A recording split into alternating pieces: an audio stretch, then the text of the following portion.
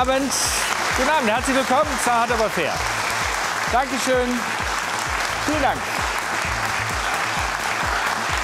Ja, schön, dass Sie dabei sind. Manchmal zeigt die kleine Welt, was in der großen Welt los ist. Der Trump ist ein böser Mann und gemein ist er auch. Was antworten Sie darauf einem Sechsjährigen, der sich seine frische Meinung aus ein paar Nachrichtenhäppchen und Erwachsenengesprächen bildet? Dass Trump demokratisch gewählt ist, dass man sich keine Sorgen machen muss, dass der nur so dahinredet, aber anders handelt? Ersteres stimmt. Das Zweite kann man nur nicht mehr behaupten. Nach zehn Tagen Donald Trump wird klar, er meint es ernst. Ein groteskes Einreiseverbot, das Menschen in Verzweiflung Flughäfen ins Chaos stürzt. Eine echte Mauer gegen Mexiko, eine Zollmauer gegen den freien Handel. Wie gefährlich ist es für uns? Macht Trump den ewigen Exportweltmeister Deutschland zum Verlierer? Und äh, wie verhandelt man eigentlich mit einem Mann, der keine Regeln zu kennen scheint? Hat aber fair mit diesen Gästen. Melinda Crane, die US-amerikanische Journalistin, kritisiert, der Einreisestopp widerspricht der Verfassung, der Werte und der Geschichte der Vereinigten Staaten. Diese Politik der Abschottung schadet uns allen. Oscar Lafontaine, der Politiker der Linken, sagt, Trump will sich bei Handelsbilanzen von anderen Ländern nicht mehr über den Tisch ziehen lassen. Das wird ungemütlich für Deutschland, denn wir als Exportweltmeister sind die, die er meint.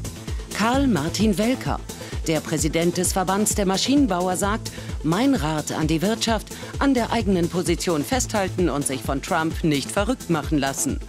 Wolfram Weimar, der Publizist gibt zu bedenken, wenn die Amerikaner einen Wirtschaftskrieg riskieren, sollten wir uns fragen, warum amerikanische Firmen wie Amazon oder Apple in Europa Milliarden verdienen, aber keinen Cent Steuern zahlen. Ilse Aigner, die bayerische Wirtschaftsministerin stellt klar, allein durch BMW werden in den USA 70.000 Menschen beschäftigt. Und deutsche Firmen zu schwächen kann nicht im Interesse der USA sein. Und später in der Sendung Matthias Schranner. Der internationale Experte für Verhandlungen sagt, egal wie man Donald Trump findet, sein konfrontativer Verhandlungsstil ist hochprofessionell und kennt nur ein Ziel, gewinnen.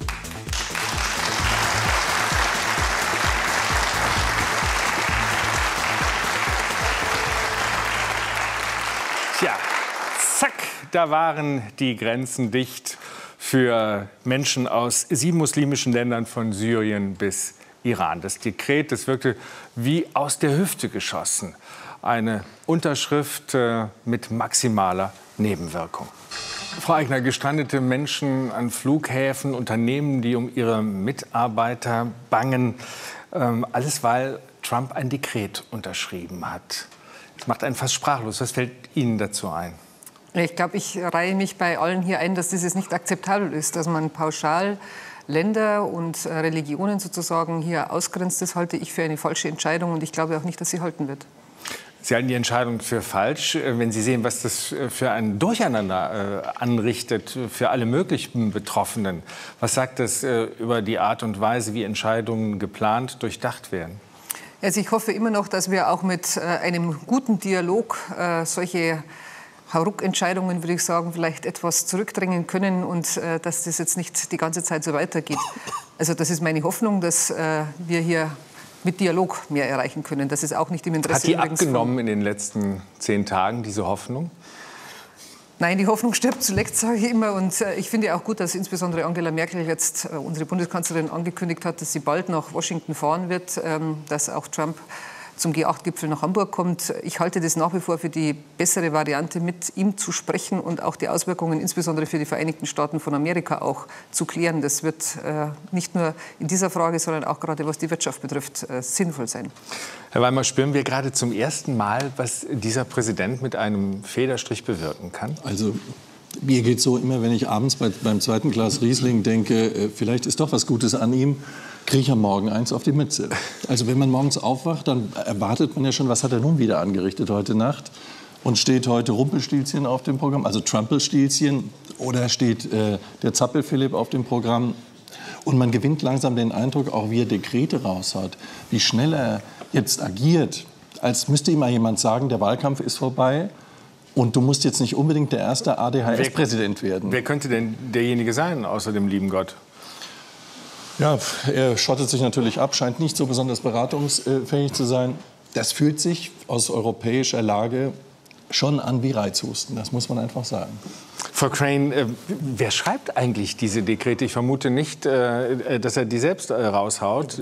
Seine Twitter-Meldungen sind ja auch kürzer. Verlangt er danach oder hat er mittlerweile das Umfeld, äh, das ihm solche Sachen unterschiebt? Offensichtlich werden die Dekrete nicht geschrieben von den zuständigen Behörden, denn die Oder haben nicht mal vorher wirklich davon gewusst, was auf sie zukommt. Man sagt, maßgeblich daran beteiligt ist der Chefideologe im Weißen Haus, Steve Bannon. Das ist dieser, der von der hart rechten Webseite Breitbart kam, der jetzt auch sogar in den Nationalen Sicherheitsrat gehoben würde. Dafür würde ein General rausgeschmissen. Das ist wirklich einmalig, dass so jemand politisch, sehr ideologisch, also der Right-Hand-Man von Donald Trump, dann in den Sicherheitsrat kommt, da wo Politik eigentlich äh, fehl am Platz ist. Dieser Bannon ist ein Rechtsnationalist und er hat auf jeden Fall Interesse daran, alles aufzuwischen. Man sucht ja immer nach beruhigenden Momenten. Es geht immer nach hinten los. Sagen Sie noch mal, der Sicherheitsrat, äh, was entscheidet er oder wie bereitet er Entscheidungen vor, wo jetzt dieser Bannon sitzt, den man von seiner Breitbart-Seite kennt?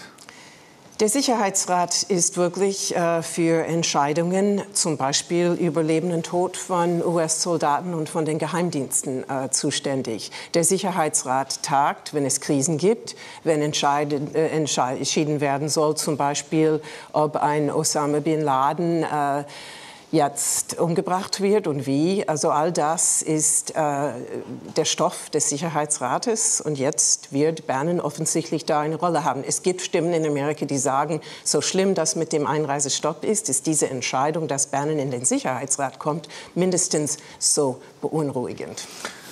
Herr Lafontaine, ähm, man kann jetzt äh, Trump viel vorwerfen, aber nicht, dass er nicht das hält, was er vorher versprochen hat. Äh, auf eine gewisse Art und Weise imponiert Ihnen das?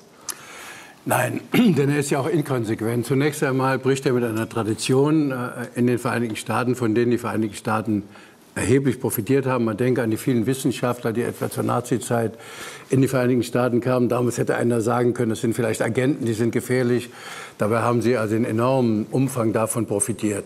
Aber was der Widerspruch ist, wie schon in den vergangenen Jahren, wenn er schon irgendwelche Angst hat vor Terroristen, warum klammert er Saudi-Arabien aus? Denken Sie an Osama bin Laden. Das ist doch völlig inkonsequent und ist eben die Verlogenheit der US-Politik seit vielen Jahren. Der dritte Punkt, wenn er gegen Terroristen, nehmen wir mal ernst, etwas machen will, dann müsste er aufhören, im Vorderen Orient Bomben zu werfen. Denn jede Bombe, die dort geworfen wird, führt dazu, dass neue junge Männer sich rächen wollen und dort, und, und dort zu Terroristen werden. Deshalb ist das äh, völlig inkonsequent. Ich will noch etwas nachlegen. Dort gibt es viele Länder, die würden gerne die Macht dazu haben, US-Bürger von ihrem Territorium fernzuhalten, insbesondere die, die dort Bomben werfen oder verdeckte Kriege führen. Also man muss das immer umdrehen. Das scheint er nicht zu können und das bedauere ich sehr. Wenn wir mal auf die Konsequenzen äh, bei uns schauen, Herr Welker, Sie sind äh, jemand, äh, der für den Titel Exportweltmeister verantwortlich ist. Sie sind äh, der oberste Maschinenbauer hier im Land. Dieser Einreisestopp aus der Hüfte geschossen, nicht abgesprochen äh, mit den Ministerien, so wie es aussieht, nicht mal richtig mit dem Heimatschutzministerium. Ist das der endgültige Beweis dafür, welcher Unsicherheitsfaktor dieser Präsident für die Weltwirtschaft auch ist? Ja, zunächst mal stellen wir dabei fest, was wir an einer Europäischen Union mit den Freizügigkeiten von Gütern und Personen haben. Das ist ja einer der Gründe, warum beispielsweise der Brexit, der war ja getrieben von der Idee, wir wollen eben nicht mehr jeden aus Europa in unser Land reinlassen. Und jetzt sehen wir, was das heißt, wenn ein großes Land wie die USA derartige Schritte äh, vornehmen. Also wir brauchen diesen freien Personenverkehr genauso, wie wir den freien Güterverkehr fordern. Und äh, natürlich wird das eine große Herausforderung, wenn äh, die Personen in Zukunft nicht mehr so frei äh, reisen können, wie wir das brauchen. Und wenn Sie Wie machen Sie das denn als Unternehmen? Sie haben ein Unternehmen. Äh, Ja. Wenn Sie jetzt äh, jemanden nach Amerika schicken, da laufen viele Ihrer Maschinen, überlegen Sie dann, welche Vorfahren hat er? Welchen Glauben hat er? Was steht in seinem Pass? Äh, müssen Sie jetzt Reiselisten machen äh, nach? Äh, also bisher mussten wir das natürlich nicht machen. Eingeschränkt muss ich natürlich sagen, seit schon geraumer Zeit unter Obama gibt es eine Gesetzgebung, die da heißt, wer beispielsweise in viele Länder des Nahen Ostens einreist und dort einen Passstempel hat, der muss oder der dort gewesen ist, der muss sich vorher in den USA noch mal ein extra Visum besorgen beziehungsweise eine extra Einreisegenehmigung besorgen, weil man sich damit verdächtigt macht. Also diese Überlegung gab es schon unter Obama, dass da eventuell was schief läuft. Das war eine erhebliche Belastung, denn wenn ich mir nicht nur unsere Verkäufer, sondern insbesondere auch unsere Serviceleute angucke, dann ist das ein organisatorischer Aufwand, der erheblich ist. Wer darf noch wohin fahren? wie organisieren wir das?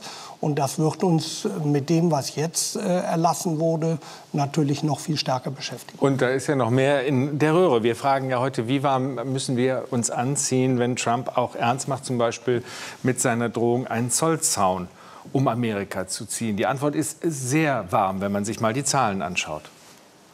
Herr Weimar, man könnte sagen, der Mann äh, bleibt sich treu. Oder hat er, hat er immer schon geahnt, dass irgendwann seine Meinung auch mal mehrheitsfähig wird in Amerika? Also da äh, würde ich sagen, Einspruch, Euer Ehren. Ich glaube nicht, dass er sich so treu bleibt, wie das jetzt klingt. Deswegen müssen wir auch nicht so viel Angst haben.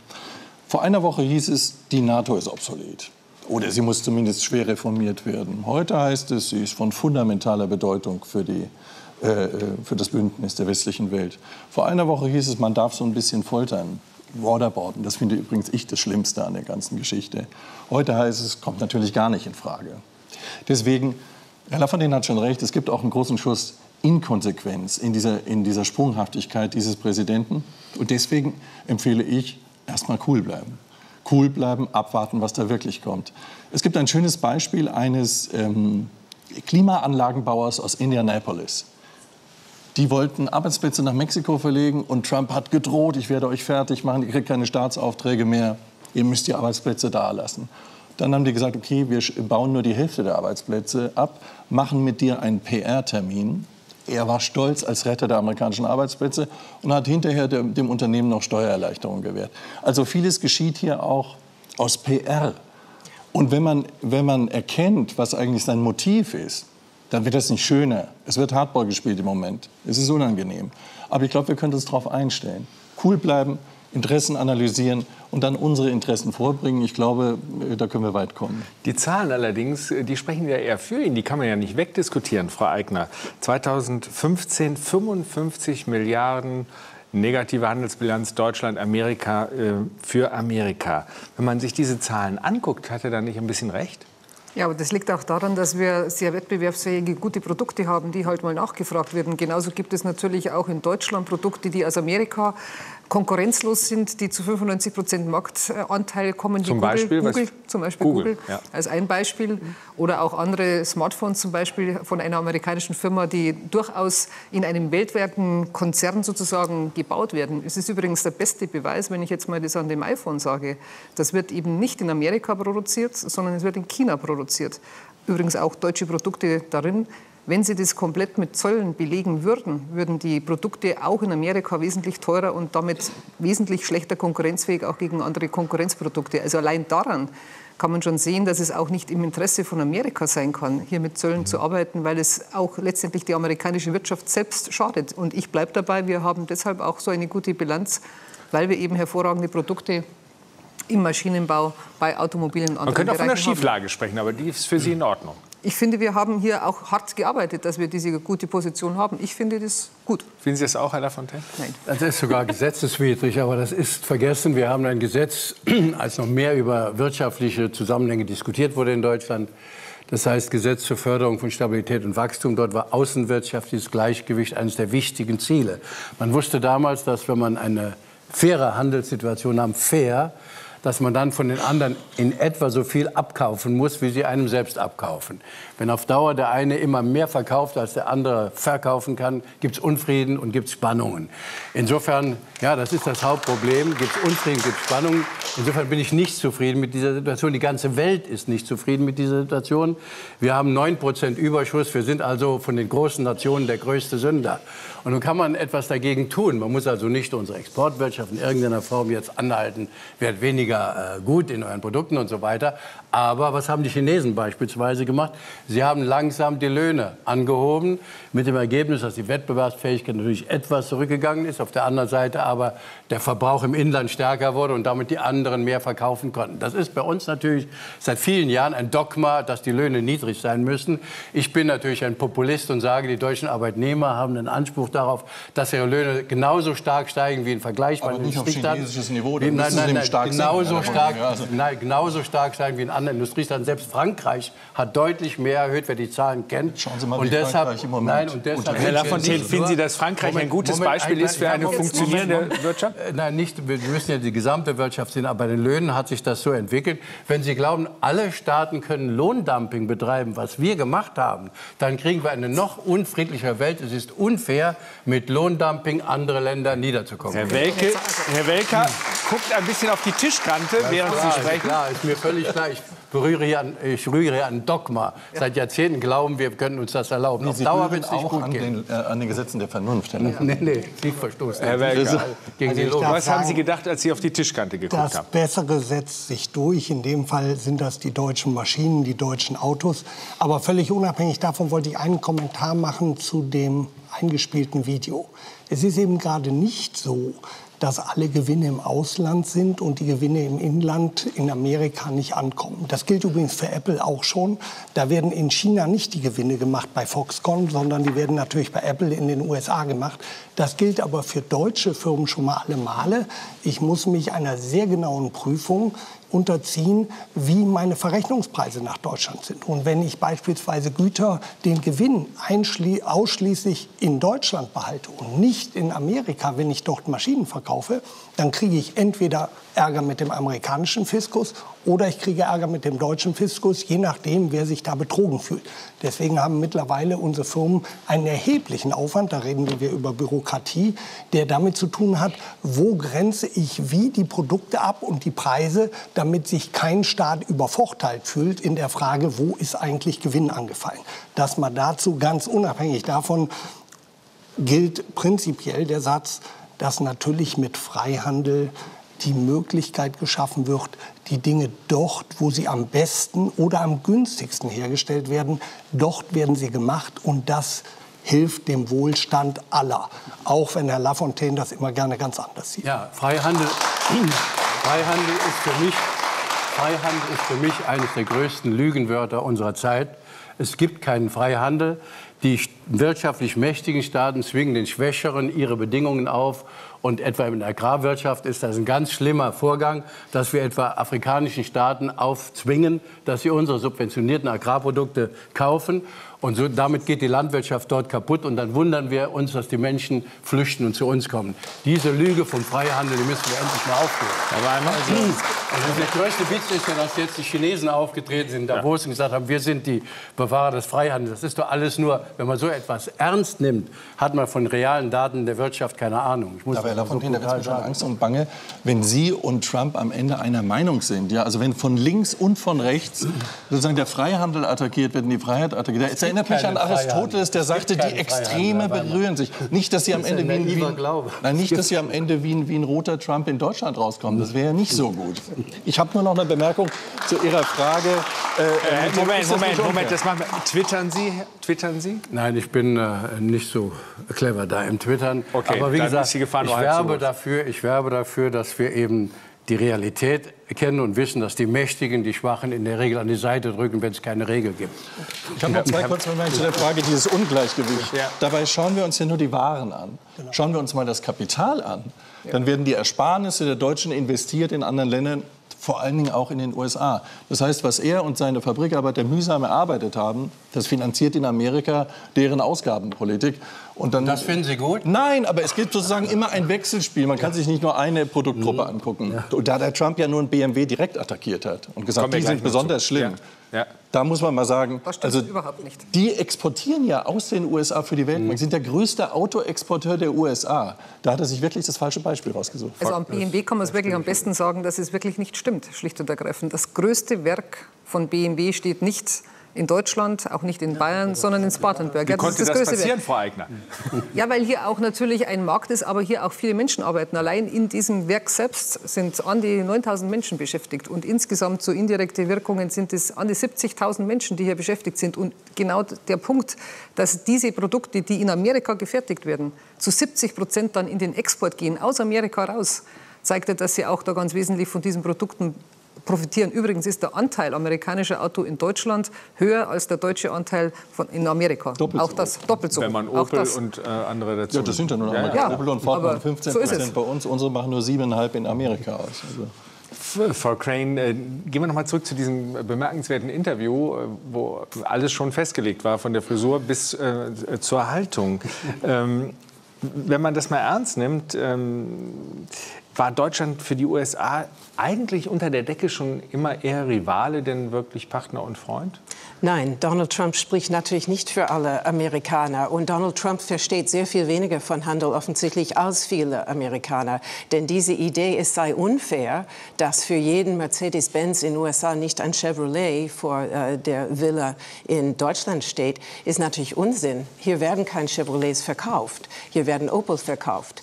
Das ist einfach ein, ein Thema, was für viele Amerikaner sehr viel geläufiger wäre, offensichtlich, als für Herrn Trump. Und wenn man die Amerikaner zurzeit fragt, ob sie zum Beispiel diese Grenzanpassungssteuer, wie es bei den Republikanern heißt, es ist überhaupt nicht klar, wenn Donald Trump Importe auf irgendeine Weise einschränken wollte, dass er das über Strafzölle machen würde.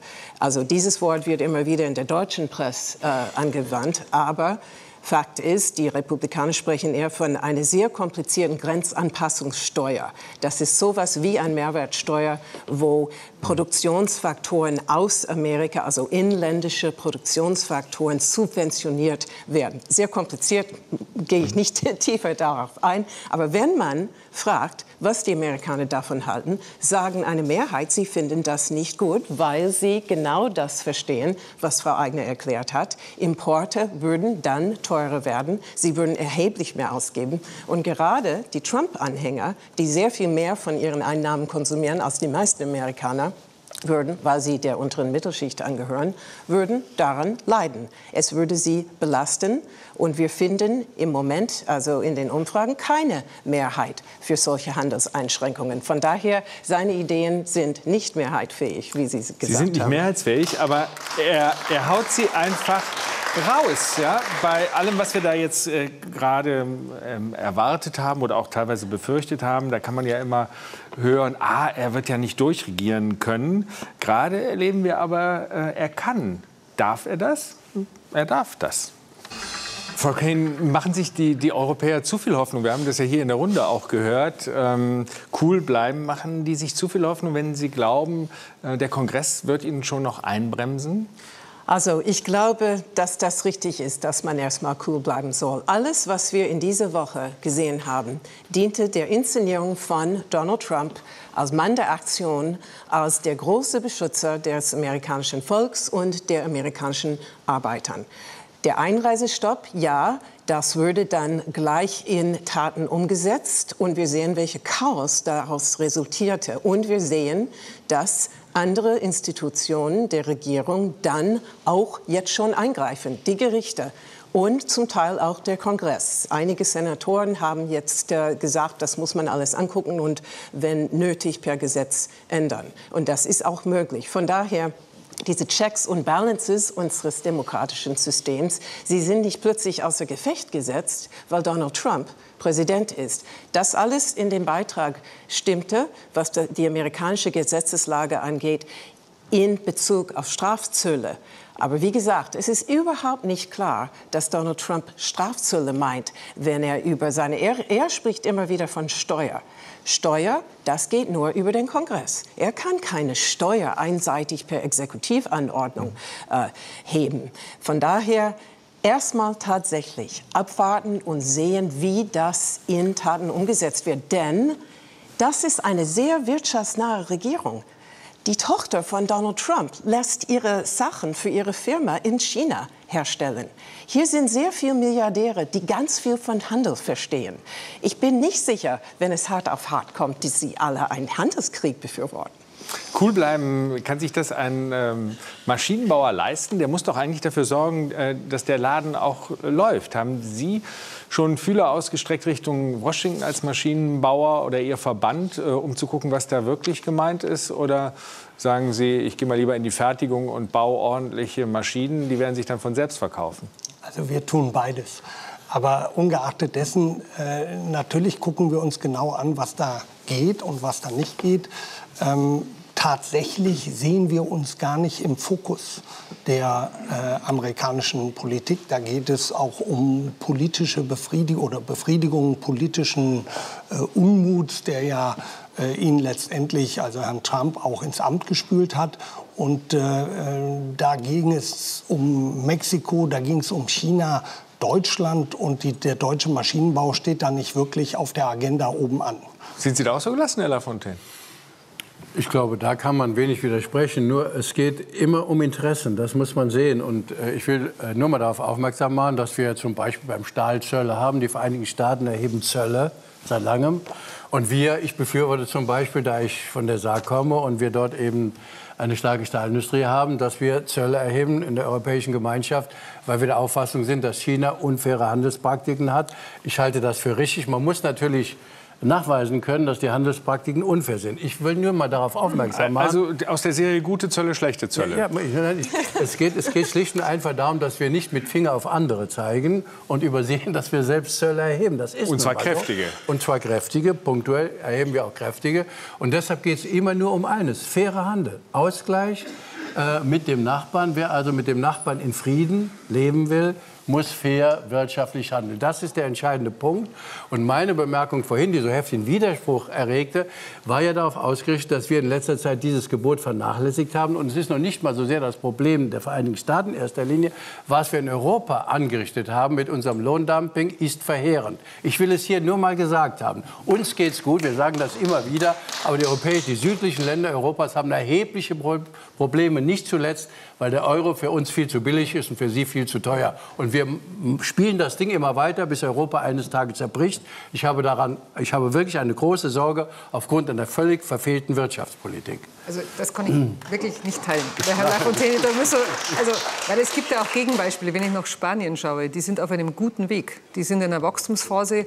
Es liegt schlicht und ergreifend daran, dass natürlich jetzt auch hier keine Reformen gemacht wurden in diesen Ländern. Und dass das billige Geld, das momentan da ist, das übrigens in Deutschland auch zu großen Schwierigkeiten führt, den Druck nicht erhöht, dass auch die wirklichen Reformen, die notwendig sind, hier gemacht werden. Und das ist eigentlich das. Sie haben vorher von Regeln gesprochen. Dass Frankreich seit Jahren jetzt die Regeln auch reißt, was den Maastricht-Vertrag betrifft, das ist auch nicht geahndet worden. Und keiner regt sich darüber auf. Das finde ich auch bemerkenswert. Ich Sie finde, haben recht. Die ich Franzosen finde, da, halten sich hier nicht an Regeln, so aber wir halten uns auch nicht an Regeln. Darauf wollte ich hinweisen. oh, das haben Sie verschwiegen. Das haben Sie verschwiegen. Wenn wir uns fragen, äh, was, was können wir eigentlich tun, äh, ist es vielleicht auch ein probates Mittel, ein bisschen zurückzuschlagen oder kräftig zurückzuschlagen?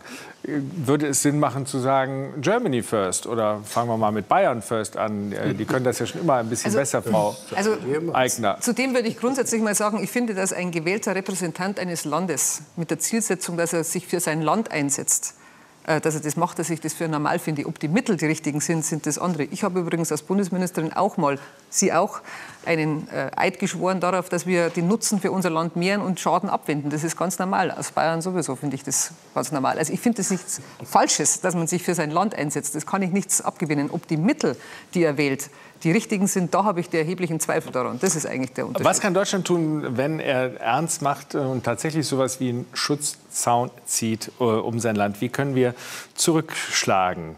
Ähm, der Spiegelkolumnist äh, Jan Fleischauer sagt, äh, wir können da, wir können da richtig was machen.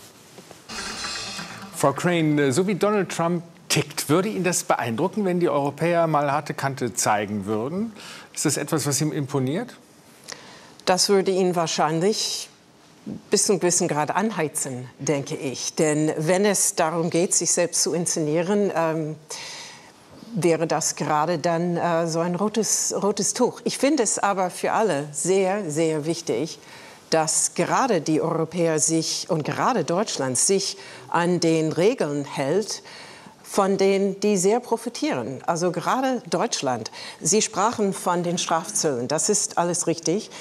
Die WTO erlaubt aber Strafzölle unter die Welthandelsorganisation. Gewissen, ja, genau, mhm. unter gewissen Umständen. Und gerade denn, dann, wenn Produkte gedumpt werden, das heißt, wenn sie unter den Herstellungskosten billiger verkauft werden, als sie eigentlich sind. Das war der Anlass für diese Strafzölle. Nun kann man darüber streiten, ob die Umstände wirklich gegeben waren oder nicht. Aber in diesem Fall hat man nicht eine Strafzölle einfach draufgelegt, ohne zumindest mit Worten an diesen WTO-Regeln sich zu halten. Und das finde ich sehr wichtig, denn gerade Deutschland ist wirklich als große Exportnation absolut abhängig davon, dass dieses System berechenbar bleibt, dass es stabil bleibt.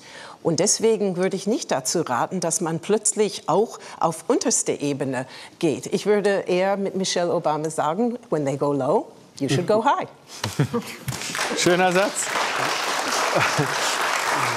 Wenn man nochmal auf, auf Apple guckt und ähm, die Möglichkeiten, die solche Großkonzerne haben, das macht Sie ein bisschen neidisch wahrscheinlich als Mittelständler, wenn Sie an Ihre Steuerzahlungen denken, oder? Furchtbar. Ja, furchtbar. Frau Eichner, was spricht denn dagegen, ähm, politisch mit Brüssel zusammen dafür ja. zu sorgen, dass Apple verdammt noch mal hier Steuern bezahlt, wenn hier die Produkte verkauft werden. Also ich halte das auch für richtig. Übrigens ist die Kommission auch da tätig geworden und hat genau hier die Europäische Kommission, die Europäische Kommission äh, hat hier nachträglich auch äh, sozusagen diese Steuervergünstigungen angekreidet. Ich halte das für richtig und äh, auch den richtigen Ansatz. Ich will aber auch noch zu anderen Punkten Datenschutzrecht sagen. Das hat ewig lang gedauert, bis wir auf europäischer Ebene endlich mal ein Datenschutzrecht haben, das für alle Länder gleichzeitig gilt äh, und eigentlich auch gegen, Länd oder gegen Firmen, die außerhalb Europas ihren Sitz haben. Das war ein harter Kampf und das ist höchste Zeit geworden, weil nämlich die Regeln eigentlich das Entscheidende sind. Jetzt höre ich Ihnen aufmerksam zu. Sie sagen höchste Zeit geworden. Ich weiß, wie lange das war. Ich, ja, äh, und ähm, jetzt sagt ein Zuschauer, warum soll ich eigentlich dem Trump böse sein, wenn der in einer Woche mehr hinkriegt äh, als ähm, europäische, deutsche Politiker die zwar die Zusammenhänge besser im Griff haben, die aber immer von höchster Zeit sprechen. Wir müssten, wir müssten bald, wir haben bald. Verstehen Sie äh, die Attraktion, die auch das größte Chaos aber ausübt, wenn jemand entscheidet? Ja, das mag schon sein, dass es verlockend ist, aber wir haben halt andere Strukturen hier. Und das ist selbst in Deutschland schon schwieriger mit Bundesrat und Bundestag. Das soll unseren Anspruch aber trotzdem nicht mildern, dass wir das schneller machen, sage ich ausdrücklich. Und Europa müsste hier in manchen Bereichen mehr zusammenstehen. Schon wieder Konjunktiv. Ja, ich, wie, wie, sehen Sie denn das wäre die Aufgabe von Europa hier zügiger auch voranzugehen, sage ich sofort. Wäre das ein, ein erwünschter Nebeneffekt von Trump, dass der auch Europa Beine macht, äh, schneller zu werden und vielleicht auch geschlossener zu werden? Ist das, also das gehört ja vielleicht zu den Hoffnungseffekten, die man äh, sehen kann, dass äh, wir erkennen, wir müssen uns formieren. Es wird halt weltpolitisch. Wir müssen uns was? Vermehren? Formieren. Ach, formieren. formieren. Entschuldigung. Vermehren. Auch, ich formieren ja. vor allem. Weil es wird hardcore gespielt weltpolitisch. Also die Zeit des, des globalen Wohltätigkeitsbasars, der da suggeriert wurde in der Ära äh, Obama, Ban Ki-moon, auch Angela Merkel, die ist vorbei. Und wenn härter mit Interessen gespielt wird, dann müssen wir unsere Interessen auch artikulieren und müssen aber auch ein Beispiel finden in Europa, wie es alternativ geht, wie wir den Freihandel eben organisieren. Ich habe ähm, äh, eine gute Nachricht diesbezüglich. Und zwar erinnert mich das alles Anfang der 80er Jahre an die Ära Ronald Reagan. Da haben wir ähnliche Dinge diskutiert und wir sahen die Welt untergehen. Da war ein zweitklassiger Cowboy, der hat auf einmal die Finger an der Atombombe und wir dachten, der Krieg kommt. Und ähnliche Fragen mit Protektionismus und Handelsbeschränkungen. Acht Jahre später hat er uns alle überrascht. Es war eine gute Präsidentschaft, sehen Sie wahrscheinlich anders. Aber 16 Millionen neue Arbeitsplätze, hohes Wirtschaftswachstum. Ähm, den Kommunismus niedergerungen, finde ich was sehr Gutes, mit friedlichen Mitteln. Und dann auch noch die Tür zur Wiedervereinigung aufgeschossen. Da war am Ende die Ära Reagan was sehr positiv. Und wir waren am Anfang sehr erschreckt. Vielleicht überrascht uns dieser Trump ja noch mit ein paar Dingen, wo wir sagen, okay, der war unmöglich, aber es kommt auch noch was Gutes. Was ist der Unterschied, wenn Sie schon die Geschichte bemühen, für die, äh, die es beurteilen können, jetzt wird es dann ganz schnell uncharmant, wenn ich die Damen hier frage, frage ich lieber Herrn Lafontaine. Gehen Sie diesen Vergleich mit äh, von Reagans Anfangszeiten zu Trumps Anfangszeit jetzt? Ohne, ohne ein Problem. Äh, nur ich will an einer Stelle noch mal deutlich sagen, zum Beispiel America First, das war immer so. Also, dass wir jetzt so tun, er hätte irgendwas Neues erfunden, das ist für mich also ganz erstaunlich. Und wenn es um das harte Durchsetzen ökonomischer Interessen geht, es gibt doch kein Land, das in dieser Form seine Interessen durchsetzt wie die Vereinigten Staaten. Die haben Öl- und Gaskriege geführt über viele, viele Jahre. Und das ist keine Erfindung von mir. Das hat Kerry gesagt als Präsidentschaftskandidat. Er hat gesagt, ich will endlich, dass wir alternative Energien entwickeln, damit nicht unsere Leute sterben müssen für unser Öl äh, am, äh, äh im, in der Golfregion sodass also dann in San Francisco eine Demonstration war und einer hat dann Gott sei Dank eben die Perversität dieser Politik auf den Punkt gebracht, indem er gesagt hat, ein Schild, wie kommt nur unser Öl unter deren Sand. Das hat also einer dann dort mal. Es gibt ja, ja, es ist ja, wir kommen unter, das, das ist ja nach wie, nach wie vor, Sie könnten auch sagen, wie kommt unser Gas unter, unter deren Erde? Das ist ja nach wie vor ein Beweis, mit welcher brutalen Härte die Vereinigten Staaten ihre ökonomischen Interessen durchsetzen. Frau Crane, nun doch. Ich, ich erinnere mich tatsächlich an die Reagan-Epoche, ich gebe es zu. Und ähm, Donald Trump ist wesentlich anders, anders, als Ronald Reagan. Ronald Reagan hatte politische Erfahrung. Ja, er war ein Filmstar, aber er hatte auch zwei Amtszeiten als Gouverneur von Kalifornien schon hinter sich, als er ins Weiße Haus kam. Er kam auch mit einer Menge professionellen Menschen ins Weiße Haus, die alle Regierungserfahrung hatten. In diesem ganzen Kabinett, falls es bestätigt werden soll, ist keiner mit langjähriger Regierungserfahrung. Das scheint das Voraussetzung sind, zu sein. Das kann ja auch ja, ein Plan sein. Ja, das sind Milliardäre, das sind Goldman Sachsler, das sind äh, Generäle, aber doch, es ist eine Frau, die für äh, die, das Ministerium für Bildung, ähm, aber auch komplett ohne Regierungserfahrung. Und sie versteht nicht mal das Amt, das sie jetzt führen soll. Das ist wirklich sehr für viele Amerikaner sehr beunruhigend, dass wir diese Amateure jetzt an der Macht haben. Und noch ganz kurz ein Punkt, den ich sehr wichtig finde, denn hier würde ich, glaube ich, äh, Herrn Lafontaine recht geben. Es gibt aber eine andere Verbindung und die ist die folgende. Donald Trump sein Gewinn, sein Sieg im November ist eigentlich die Frucht von einer Politik, die anfing in der Zeit von Ronald Reagan und die durch alle republikanische Präsidentschaften ging. Und das ist diese Politik des Neoliberalismus, das heißt Deregulierung, Steuerreduzierung immer, immer weiter. Und diejenigen, die gezahlt haben, sind die Menschen, die Trump gewählt haben, nämlich diese prekäre untere Mittelschicht. Und genau die werden daran leiden, wenn es einen Handelskrieg gäbe oder auch wenn er die Politik macht, die er sonst angekündigt hat, nämlich mehr Steuerreduzierung und mehr Deregulierung. Herr Weimar?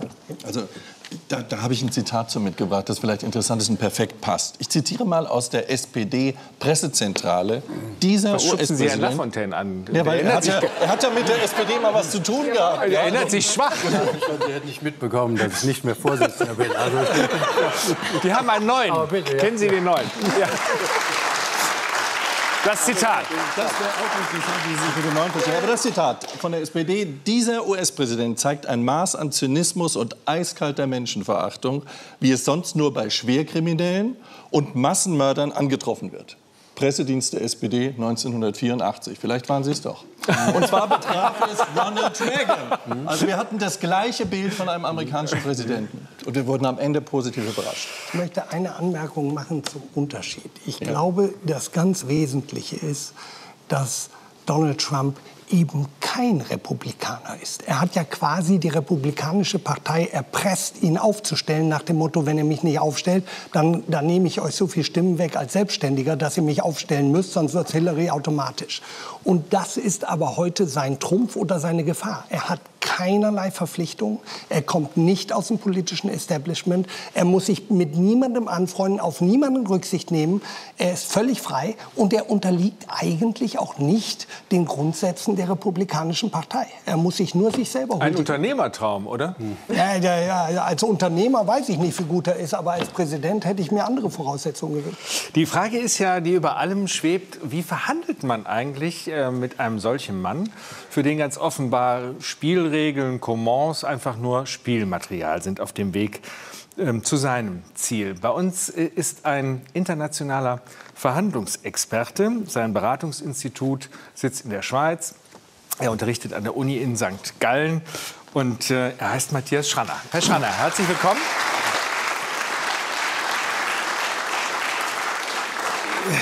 In Deutschland wird ja so oft gemunkelt, äh, der spinnt einfach, dieser Trump. Äh, Sie beobachten solche Menschen, weil es auch Ihr Beruf ist, äh, nämlich eine gute Verhandlungsposition zu erreichen. Spinnt er? Eine Verhandlung hat drei Phasen und wir sind noch in Phase 1. Die Phase 1 ist eben die Phase, bevor man am Verhandlungstisch sitzt. Und in dieser Phase geht es darum, sich zu inszenieren, äh, verhandlungstechnisch den sogenannten Anker zu setzen, also die gegnerische Partei vor der Verhandlung schon in eine gewisse Ecke zu gedrängen, damit man dann, wenn man am Verhandlungstisch sitzt, tatsächlich in einer besseren Verhandlungsposition ist. Was ist denn so ein Anker, den er jetzt gesetzt hat zum Beispiel? Ja, zum Beispiel, dass er die äh, TTIP aufkündigt und dass er gesagt hat, ähm, in, also diese, dieser Vertrag gilt für ihn einfach nicht. Er hat aber auch dazu gesagt, was, noch nicht, äh, was ich noch nicht gehört habe, er hat auch dazu gesagt, er möchte neu verhandeln. Und das ist bisher bei allen seinen Statements ähm, eine große Gemeinsamkeit. Also er sagt immer, ich baue die Mauer, ich möchte aber verhandeln. Es gibt das Einreiseverbot, aber ich möchte mit euch verhandeln. Und wir sollten uns aber auf den zweite, zweiten Teil der Message Ist das ein erfolgreicher Verhandlungsstil? Ja, bisher schon. Bisher ich meine aus Ihrer Erfahrung, nicht jetzt bei super, Trump. Super, Also ich bewerte nicht den Menschen und ich bewerte ich nicht den Politiker. Äh, verhandlungstechnisch gesehen ist es gut, weil er die Themen bestimmt, die Agenda setzt und zu Beginn der Verhandlung schon gezeigt hat, hey, ich traue mir was zu, ich bin kein, ich bin kein Schwätzer, ich bin bereit, wirklich Fakten zu schaffen. Man hat ja den Eindruck äh, bei Verhandlungen, er will siegen. Es gibt ja, ich weiß nicht, ob es ein Gerücht ist, dass äh, aus seiner Administration der Satz kommt, Win-Win ist was für Pussys. Also Win-Win, dass beide was davon haben, das äh, interessiert mich nicht. Er, er, will am Verhandlungstisch äh, siegen. Ähm, ist das ein, ein, falscher Eindruck oder ist das eine Fassade, die er aufbaut, um äh, zu bluffen? Nein, das, ähm, also wenn man gerade die amerikanische Kultur anschaut, im amerikanischen Sport gibt es zum Beispiel kein, äh, kein Unentschieden. Ähm, das das Win-Lose ist tatsächlich auch verankert in dieser Gesellschaft, vor allem im amerikanischen Business. Also ich, ich denke schon, dass er jemand ist, der sehr, sehr gerne gewinnen möchte, der auch kein äh, Problem damit hat, wenn der andere verliert. Es ist ein, ich möchte sagen, es ist ein schlechter Ansatz, es ist ein eher sportlicher Ansatz. Lass mich gewinnen. Was bedeutet eigentlich der Begriff Fairness? Er sagt ja immer, das, was ihr gemacht habt mit dem Auto, äh, Import, Export, das war nicht fair. Wie kann jemand sich auf Fairness berufen, wenn er sich offenbar nicht an Regeln hält? Nach seinen Grundsätzen hält er sich an seine Regeln. Äh, Fairness sollte man in der Verhandlung tatsächlich nicht benutzen, weil er glaubt ja, dass das Verhalten gegen Amerika unfair ist. Also er behauptet ja, dass Mexikaner zum Beispiel, dass sie zu wenig tun mit der Grenzsicherung. Er behauptet, dass Europa zu wenig tut, um diese ähm, Handelsbilanz fair zu gestalten. Ähm, dieses Bildinterview, das Sie angeführt haben, er, er scheint der Meinung zu sein, dass Amerika unfair behandelt wird. Ähm, das ist, glaube ich, nicht zu viel Küchenpsychologie. Das hat sich mittlerweile schon durchgesetzt, dass Trump narzisstische Züge trägt. Man muss mal seinen Schreibtisch äh, sehen. Frau Crane lacht. Äh, der ist übersät mit Trump-Porträts und anderen Dingen. Äh, wenn jemand ein Verhandlungspartner ist, der so selbstverliebt ist wie Trump, wie, wie geht man damit um? Wie kann man das einbauen in seine Verhandlungsstrategie? Es kann sein, dass er tatsächlich so ist. Es kann sein, dass es auch vortäuscht. Also ich würde davor Dann hätte sie aber viel Arbeit mit seinem Büro gemacht. ja, das kann gut sein. Also ähm, ich, ich warne davor, dass, dass man von, von außen so, solche Urteile fällt. Ich denke, das sollte man den, äh, wirklich Psychologen und Psychiatern überlassen. Ähm, ich denke schon, dass er Züge hat, um sich selbst zu, dar darzustellen. Es kann aber sein, dass er in der Verhandlung mhm. äh, sich tatsächlich da zurücknehmen kann. Ich habe gleich noch mal ein ganz konkretes Beispiel. Wenn sich jetzt Zuschauer fragen, wer ist der Typ, äh, der da gerade sowas sagt? Äh, ich habe Sie vorgestellt als Verhandlungsexperten. Ich wusste nicht, dass es einen solchen Beruf gibt, äh, ohne Mandanten zu verraten. Für wen ähm, oder von wem werden Sie um Rat gebeten? Wo arbeiten Sie für wen auf der Welt? Wir kommen meist dann, wenn große Unternehmen gegeneinander verhandeln wenn juristische Abteilungen sagen, da gibt es kein, keine Möglichkeit, also wirklich zum Agreement zu kommen. Äh, Juristen sagen, Finger weg, äh, man hat Angst vor einer gerichtlichen Auseinandersetzung und dann kommen wir. Wenn eine Situation aussichtslos ist, dann werden wir gerufen. Okay, ich glaube, so weit sind wir noch nicht. Wenn ich Sie jetzt frage, nehmen wir ein ganz konkretes Beispiel. Zurzeit ähm, Poker Trump ja versetzt Unternehmen auch in Angst, äh, zum Beispiel eben äh, BMW. Nehmen wir das einfach mal als Beispiel und frage Sie gleich mal, was Sie tun würden. 35 Prozent, klare Ansage, offene Karten. Welche Funktion hat das für Trump, wenn er sowas raushaut? Ein klarer Anker. Also die 35 Prozent werden diskutiert. Er möchte dadurch BMW beeinflussen, dass die vielleicht mit einem Vorschlag kommen, mit einem niedrigeren Satz zu kommen. Und BMW dürfte auf gar keinen Fall diese Diskussion aufgreifen, sondern müsste also als sagen, Autohändler würde man jetzt sagen, du willst 35, äh, 15 können wir uns noch leisten, sag ich 10, einigen wir uns bei 15. das wäre falsch, genau. Das wäre falsch. Das wäre falsch, weil dann würde, also dann würde BMW das Spiel von Trump akzeptieren. Sie würden seine Strategie akzeptieren und würden dadurch auch verlieren. Was sollen die denn tun? Äh, schnell an den Verhandlungstisch kommen. Man ist zu weit weg von diesem Trump. Man, man hat ihn vielleicht auch zu, zu wenig ähm, richtig eingeschätzt. Man hat vielleicht zu wenig in der Beziehung getan. Man ist zu weit weg von ihm, man ist zu weit weg von seinem Verhandlungsteam. Man muss ran. Also cool bleiben, haben wir gehört. Ja, äh, abwarten, nein. Aber was gibt es denn zu verhandeln, wenn BMW sagt kein Prozent äh, und er sagt 35? Was wollen Sie denn da verhandeln? Indem ich Selbstforderungen stelle, indem ich sage, was ich möchte. In, also indem man reingeht und seinem Verhandlungsteam sagt, okay, vielen Dank für deine Aussagen, hier sind meine Forderungen, das ist, was ich haben möchte, lass uns reden. Die deutsche Politik hat ja ähm, auf solche und andere Forderungen in Teilen, die Kanzlerin nicht, aber in Teilen bestürzt reagiert. Hat sie erschrocken gezeigt, äh, ja, Sie machen so. Was heißt das? Nein, das macht man nicht. Das macht man nicht. Nein, man, man da, Aber wenn es doch wahr ist, also warum sollte ein Politiker nicht sagen, wenn er morgens genauso erschreckt aufsteht wie Herr Weimar hat am Anfang der Sendung gesagt, was hat er denn jetzt wieder gemacht? Und sowas ist Präsident. Da darf man doch sagen, auch als Politiker, ich bin erschrocken, so wie du, lieber Bürger. Als Bürger darf ich es sagen, als Politiker darf ich es nicht sagen. Warum nicht? Weil ich als Politiker ein, ähm, ein, einen Staat repräsentiere und ich dadurch schon in diese Opferrolle gehe. Dass ich sage, hey, du bist stärker als ich, hey, ich habe mich überraschen lassen von dir.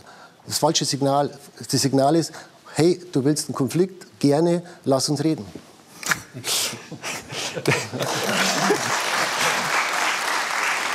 Es ist ähm, sehr interessant, Ihnen, Ihnen zuzuhören, wenn ich das jetzt mal auf den politischen Alltag ähm, übersetze oder auch auf die bilateralen Beziehungen. Die werden oft von Diplomaten äh, geregelt. Diplomaten lernen, dass man durch vorsichtiges Verhandeln einen Schritt vor, einen Schritt zurück, ein Schrittchen zur Seite und da zu einem Ziel kommt. Ähm, wir können doch jetzt nicht das ganze diplomatische Chor austauschen. Die Diplomat- erwischt es kalt, oder? Diplomatie beruht auf zwei Sockeln. Das eine ist langfristige Beziehung, also vertrauensvolle Beziehung. Und das, eine, das zweite ist eine langfristige äh, ja, Agreement, eine Vereinbarung, die für beide Seiten gut ist. Wir haben zu Herrn Trump kein Vertrauen und wir haben keine langfristige Zielsetzung. Herr Trump ist sehr, sehr kurzfristig orientiert. Er möchte schnell umsetzen, was er im Wahlkampf ja auch schon angekündigt hat. Deshalb haben die diplomatischen Mittel in dieser Auseinandersetzung tatsächlich äh, keine guten Aussichten. Was ist denn wichtiger, dass man sich in seine Gehirngänge eindenkt und sagt, was kann er wollen, oder dass man sich mit seinen eigenen äh, Zielen befasst? Nur mit seinen eigenen, weil die, einen, die anderen wissen wir ja nicht. Also wir wissen zwar, was er gefordert hat, die 35 Prozent, wir wissen aber nicht, was er wirklich will. Und deshalb ist Zeit, hinzufliegen, zu sagen, hey, lass uns reden. Und Frau Merkel hat sehr, sehr geschickt gemacht, wie ich finde. Sie hat eine gemeinsame Presseerklärung nach diesem Telefonat herausgegeben. Sie hat gesagt, dass es gemeinsame Ziele gibt, gemeinsame Interessen. Äh, Es gibt wohl eine Einladung nach Washington. Und wäre ich Frau Merkel, ich würde morgen hinfliegen. Vielleicht sind Sie ja dabei, wer weiß. Vielleicht guckt das Kanzleramt gerade zu. Herzlichen Dank für Ihre interessanten Einblicke. Ein Verhandlungsexperte auf dem Weg vielleicht nach Washington. Vielen Dank. Frau Eigner, Sie, Sie haben so be- bewundernd geguckt. Haben Sie gerade was gelernt oder fühlen Sie sich bestätigt? Nein, ich habe mich bestätigt gefühlt, weil ich habe das genau gesagt, man muss mit ihm reden. Er ist gewählter Präsident, egal ob mir das gefällt oder nicht, was er gesagt hat. Und ich muss mit ihm reden und ich muss gerade aus Interesse der Wirtschaft reden und auch selbstbewusst durchaus auftreten, was wir letztendlich auch für die amerikanische Wirtschaft in einer guten Partnerschaft machen. Und das kann man wirklich mit großem Selbstbewusstsein sagen. Mit vielen Maschinen würden die sonst vielleicht äh, auch manche Probleme haben, wenn sie sie nicht hätten. Frau Crane, ähm, Sie, Sie kennen nun beide Länder verdammt gut. Äh, sind wir in Deutschland zu konsensorientiert? Verstehen wir da tatsächlich etwas miss, was äh, eher aus der amerikanischen Geschichte und Genetik äh, darüber poltert und wir für bare Münze nehmen? Ist das ein bisschen Sprachlosigkeit im Moment? Ich denke nicht. Vielleicht bin ich auch zu lange schon in Deutschland. Aber ich würde sagen, ich würde sagen, gerade im Bereich des Handels gibt es Win-Win und Lose-Lose. Also diese Idee, dass ähm, man tatsächlich ein Nullsummenspiel hier betreiben kann, wovon irgendeiner als Sieger rausgeht, äh, die Idee kann ich überhaupt nicht teilen. Würde es tatsächlich zu starken Konflikt im Handelsbereich kommen, dann würden alle Verlierer, auch Amerikaner, natürlich, weil sie viel höhere Preise zahlen würden, weil einige Bereiche gar nicht zu ersetzen sind durch inländische Produktion. Aber lassen Sie mich vielleicht ganz kurz etwas sagen zur Strategie der Firmen, denn wir sehen ein bisschen, wie die Firmen in den USA reagieren. reagieren. Da, da, darf, ich, darf ich Ihnen versprechen, dass wir da gleich drauf okay. kommen? Da Gut. haben wir nämlich wunderschönes Bildmaterial auch, äh, also wie eine Firma reagiert hat. Ich würde das äh, als Schleim mit eingesprungenem Salto genau, bezeichnen. Eben. Aber ähm, gucken wir es uns mal genau an. Vielleicht war ich da auch zu frech gerade. Wir gucken nachher noch mal hin. Brigitte Büscher ist jetzt dran mit äh, den Zuschauern, die äh, ja auch alle morgens aufstehen und sich fragen, was hat er jetzt wieder gemacht? Ja, aber Sie schauen schon sehr kritisch darauf. Und ich kann jetzt nicht sagen, dass alle sagen, Trump ist ähm, wie der kleine Sechsjährige, den du zu Beginn ja zitiert hast. Das ist ein komischer Mann, das ist ein böser Mann. Es gibt schon auch manche sagen, alle Achtung, da ist viel Tempo drin, da ist auch durchaus Respekt bei unseren Zuschauern. Zuschauern. Und mit denen fange ich einfach mal an. Michaela Katz zum Beispiel hat bei Facebook geschrieben, warum soll er nicht ernst machen, wenn er das vorher schon gesagt hat? In Deutschland kennt man das noch nicht, da Politiker ihr Wort hier nicht halten. Und die Zuschauer schauen noch mal so ein bisschen auf einzelne Dekrete, die Trump Kann erlassen ich das gerade hat. mal zum Anlass nehmen nochmal. Frau Eigner, Sie trifft es ja, Sie sind die aktive Politikerin neben Herrn Lafontaine. Äh, wenn Politiker ihr Wort nicht halten, muss das ja nicht immer böser Wille sein. Es gibt Koalitionsregierungen, es gibt äh, viele Faktoren, die da reinspielen. Aber es hat ja auch was damit zu tun, was man im Wahlkampf verspricht wohl wissend, äh, dass man äh, das eigentlich hinterher nicht halten kann. Lernen Sie eigentlich aus dieser Situation was? Äh, wir stehen vor einem Bundestagswahlkampf. Nächstes Jahr, glaube ich, gibt es in Bayern Wahlkampf. Lernen Sie da was draus, wenn Sie an die Wahlkampfstrategie denken?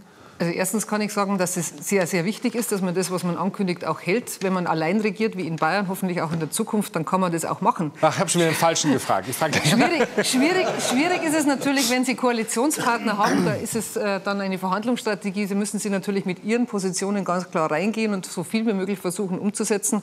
Äh, aber natürlich wird es dann auch Kompromisse geben müssen. Das ist das Problem aus unserer Konstellation. Das haben Sie in Amerika übrigens etwas anders, weil Sie ja klarere Verhältnisse haben, nicht so viele Koalitionen wie bei bei uns. Herr Lafontaine. Jeder wird das unterschreiben, wenn Sie ihn jetzt so fragen. Deshalb will ich gar nicht äh, äh, dieselbe Antwort geben. Ich will nur sagen, dieser Mann reflektiert eine Situation, die die Bevölkerung in Deutschland seit vielen Jahren zur Kenntnis genommen hat, dass eben vor Wahlen Versprechungen gemacht wurden, die nach den Wahlen nicht eingehalten wurden und dass eben äh, ein gewisser Teil der Bevölkerung, oft die Mehrheit sogar, denken Sie an Renten und Löhne, immer die Verlierer waren. Das ist die Reaktion, dass Sie sagen, es wird so viel versprochen vor Wahlen, nach den Wahlen machen Sie das Gegenteil. Das ist die Reaktion, die Sie da sehen. Brigitte. Ja, besonders gut bei unseren Zuschauern auch dieser eine Satz an America First. Und vielleicht kann man den auch auf Deutschland übertragen. Und sie fragen sich, warum ist der Trump eigentlich so gut und so konsequent? Weil er vielleicht ein Quereinsteiger ist. Und im Gästebuch schreibt Susanne Bergmann, Trump ist kein Politiker. Er sagt, was er denkt und tut, was er sagt. Gut so. Ich wünschte mir, dass Merkel genauso an das eigene Volk denkt wie Trump an das seine. Germany First. Ja, Einreiseverbote, Grenzen zu, Freihandel beschränken. Die USA verändert sich und man guckt auf ein Symbol und vielleicht muss dieses Symbol abgeräumt werden. Siegfried Baumeister schreibt im Gästebuch, wenn Trump endlich die New wann wird Trump endlich die New Yorker Freiheitsstatue abbauen? Die ist ja eigentlich auch obsolet. Wie muss man mit ihm umgehen? Wie muss man auf ihn zugehen, mit ihm auskommen? Und dazu schreibt unser Zuschauer Volker Küsters bei Facebook. Wieso muss ich mit jemandem auskommen, der einen Handelskrieg anzettelt, den Klimawandel verleugnet und persönlich nichts von Bündnissen hält? Müssen wir in Zukunft dann mit Ländern oder Organisationen auskommen, die uns den Krieg erklären? Trump fährt starke Geschütze auf. Vielleicht müsste man noch selber auch stärker sein. Und da schlägt Holger Schwarz bei uns im Gästebuch vor, wenn man vor das eigene Schienbein getreten wird, einfach zweimal doppelt so hart zurücktreten. Führt Trump 25 Prozent Strafzölle auf deutsche Autos ein, dann führen wir eben 50 Prozent Strafzölle auf alle US-Produkte ein. Wenn es so einfach wäre. Wenn es so einfach wäre. Es könnte eine Chance sein, vielleicht auch eine Chance für Europa, auch wirtschaftlich. Und Monika Häuser schlägt vor bei Facebook, wenn die amerikanischen Unternehmen dann wirklich abwandern sollten wegen dieser Strafzölle, gibt es endlich Platz für europäische Unternehmen. Warum sind wir Europäer auf zum Beispiel Starbucks aus Amerika angewiesen? Das können wir selbst auch. Locker bleiben, abwarten. Auch das sagen die Zuschauer. Erst mal gucken, was passiert. Und Karl-Heinz Scholz schreibt, Trump wäre nicht der Erste, der als Tiger startet und als Bettvorleger landet. Erst einmal abwarten. Ja, vielleicht noch einen Satz auch zur Wirtschaftspolitik. Walter Mayer sagt, Wirtschaftspolitisch wird er zur Vernunft kommen, da eine protektionistische Handelspolitik vor allem seinem eigenen Land schaden wird. Danke für diesen Überblick, Brigitte Büscher. Vielen Dank auch an die Zuschauer für viel Meinung und Originalität. Ja, ich habe es eben schon angekündigt. Eins kann man ja nicht behaupten, dass Trump nicht Erfolg hätte mit seinen Drohtweets Richtung Wirtschaft. Da stehen Vorstandsvorsitzende im Trump Tower da wie die Liftboys. Frau Heckner und mit den Augen. Ich, ich frage mal Herrn Welker, so von Kollege zu Kollegin. Ne? Das ist ein großer Konzern. Sie sind auch Manager, Chef. Wie bewerten Sie ein solches Verhalten? Brauchen Sie eine Bedenkzeit? Also ich, frage uns Lafontaine, der, der, der amerikanische Staat ist natürlich anders als bei uns Maschinenbauern, ist der amerikanische Staat natürlich ein Riesenkunde. Und ähm, bei Kunden gibt es keine Konfrontation, sondern man setzt sich zusammen und kommt ähm, äh, zu Ergebnissen. Wenn Lockheed das verkraften kann, und offenbar können sie das verkraften, dann können sie natürlich auch so ein Angebot machen und sagen, wir haben die Kosten deutlich gesenkt. Das wird für viele ähm, amerikanische und, und äh, internationale Unternehmen natürlich so nicht möglich sein. Und deswegen rate ich stark dazu, jetzt nicht beim ersten Brüllen des Löwen sofort äh, in die Knie zu gehen, sondern die Verhandlungsposition aufrechtzuerhalten und einfach sagen, wir vertrauen auf die Stärke unserer Produkte und wir werden uns da auch durchsetzen. Und gerade für unsere Branche kann ich nur sagen, vieles, was wir machen, kann man in Amerika gar nicht mehr machen. Dazu fehlt die Infrastruktur, dazu fehlt die Ausbildung, dazu fehlen die Firmen, die das machen. Also mein Produkt ist vor 25, 30 Jahren zuletzt mal in Amerika gefertigt worden. Heute könnten Sie das gar nicht mehr in Amerika fertigen. Sagen Sie, was Sie machen?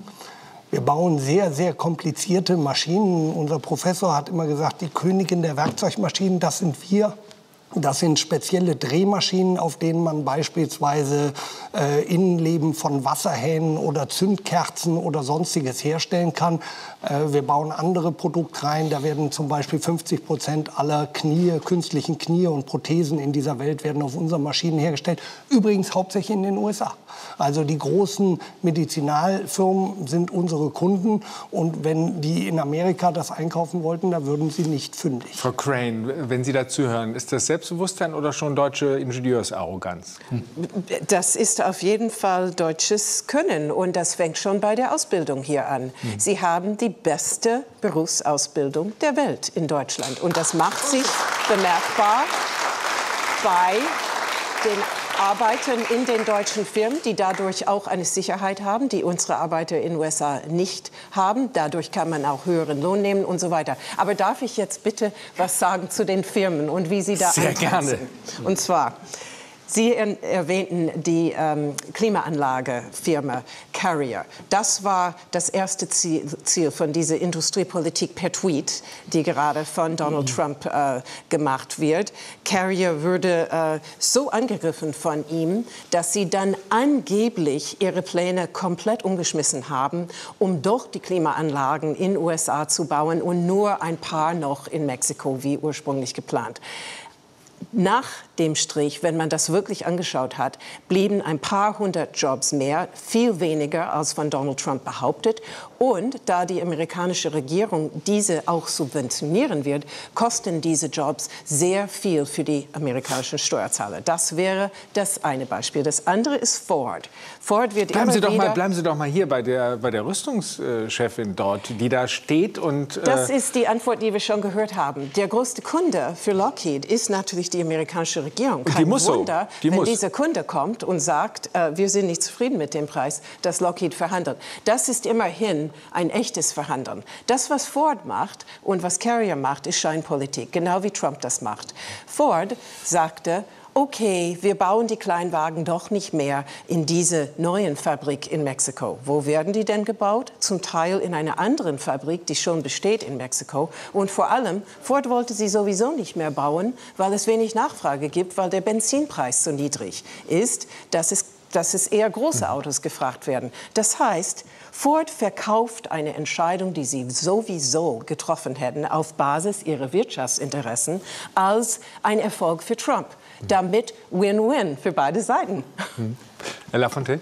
Ja, zunächst imponiert es mir, wenn äh, ein Präsident auch mal hingeht und ein Wirtschaftsführer sagt so und so. Das Denn gefällt ich hab, Ihnen. Ja, ich habe in meinem Leben so oft erlebt, wie Politiker vor Wirtschaftsführern kuschen und buckeln, dass es also auch mal wohltuend ist zu erleben.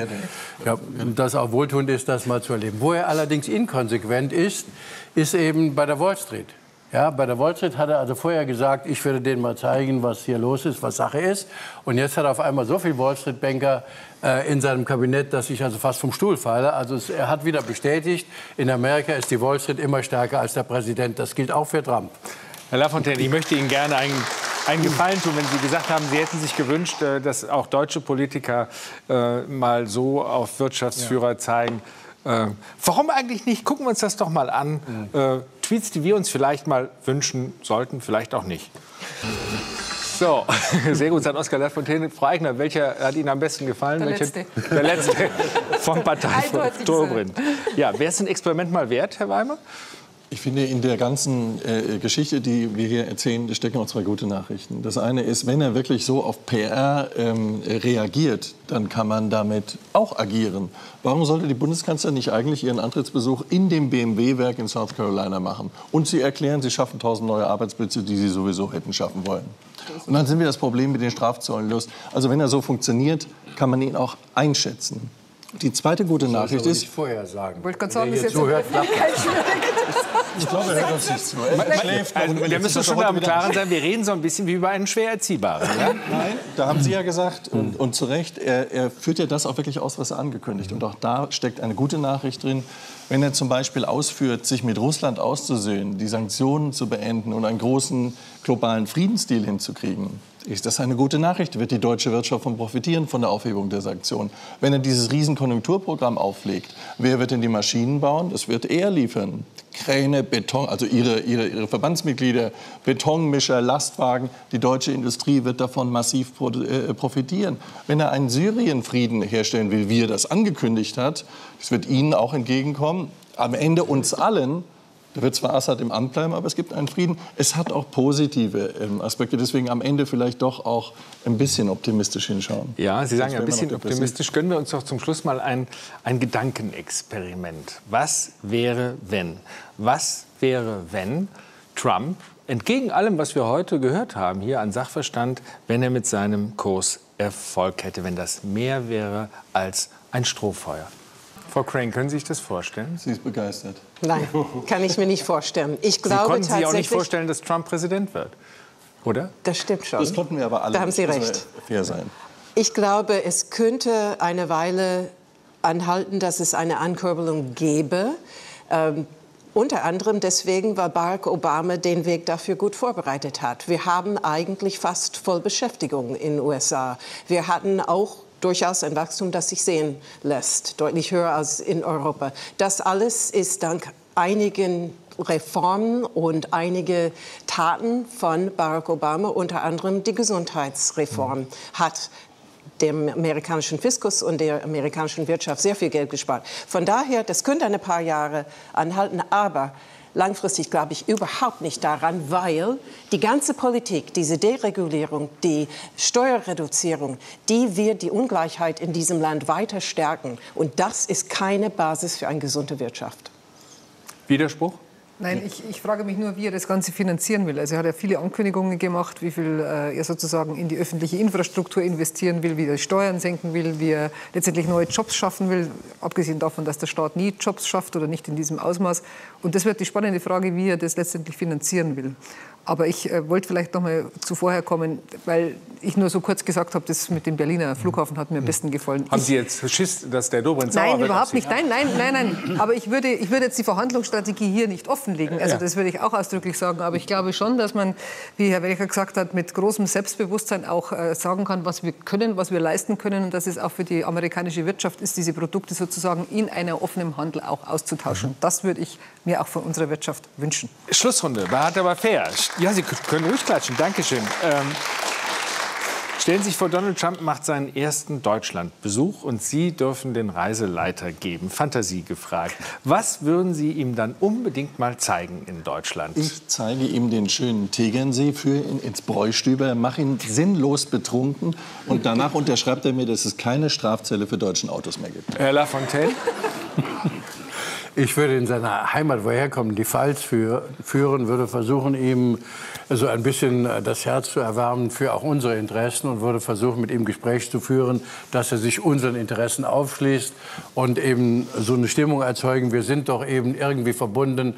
Wir müssen also ordentlich miteinander auskommen. Die Saumagentaktik hat Genau, bei Kohl ja. schon mal geklappt. Kohl hat die also Genau. immer angewandt. Also hier wäre es vielleicht angebracht. Frau Crane, was würden Sie ihm zeigen in Ihrem Deutschland? Ich würde tatsächlich irgendwas wie Dualausbildung. Ich würde ihm durchaus zeigen, wie mitbestimmten Kapitalismus aussehen kann. Frau Eigner, es muss nicht in Bayern sein, es könnte auch die Elbphilharmonie sein. Das wäre doch mal was. Auch nicht. Schaut so schön aus, wirklich. Äh, Aber was ich, würden Sie ihm Ich zeigen? würde es in der Tat, ich würde Ihnen auch eine Firma zeigen, wo eine Berufsausbildung bei uns stattfindet, um mal zu zeigen, wo eigentlich wirklich die Stärke von Deutschland liegt, nämlich in der Qualifikation unserer Mitarbeiterinnen und Mitarbeiter. Und das ist, glaube ich, der Schlüsselpunkt, den er auch erreichen sollte. Was würden Sie ihm zeigen, Herr Welker? Schloss Brühl, das Treppenhaus, großartig, prunkvoll. Das ist Viel Gold. wahrscheinlich sein Gesch äh, Und ansonsten meine Firma, da, das wird ihm auch gefallen.